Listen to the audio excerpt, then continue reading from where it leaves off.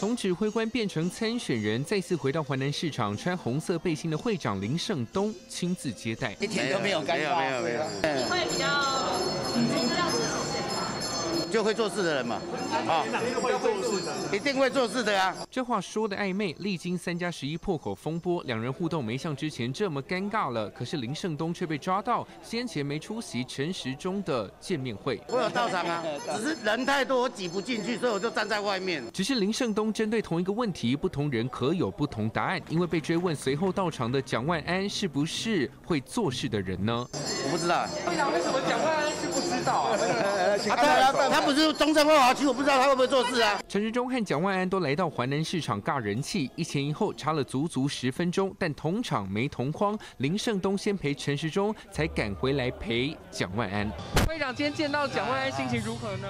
啊，很好很好。今天都有度掉啊，哎，快过来拜啊！华南市场普渡预期的首都三角都阵容都到了，抢票意味十分浓厚，但都刚好巧妙避开。我还不知道蒋万安要来，或者若碰到他的话，那他希望他也好好去选举吧。台北市副市长黄珊珊的行程是安排在上午，一摊一摊林胜东全程陪走，因为他曾经大赞黄珊珊勤劳，一度被解读为表态力挺。会长挺黄富，挺会做事的人，好不好？谢谢。黄富是会做每个人都会要看。被问到同样一个问题，林胜东嘴上虽然低调很多，但是实际行动却耐人寻味。再看回陈时中的身边，连林长佐都来了，这一刻突然觉得好熟悉。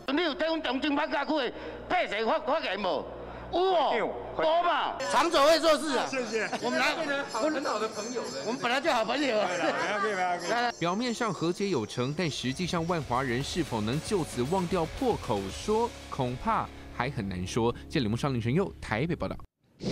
上这个梦梦水独家配方起入入睡关键，舒眠的元素能够安定舒缓神经，让你身心达到放松。当中有茶氨酸调节情绪、增强抗压能力，还有德国洋甘菊萃取物可以疏解焦虑，帮助睡眠。睡前呢三十分钟来一包梦梦水，白桃风味，酸甜好喝。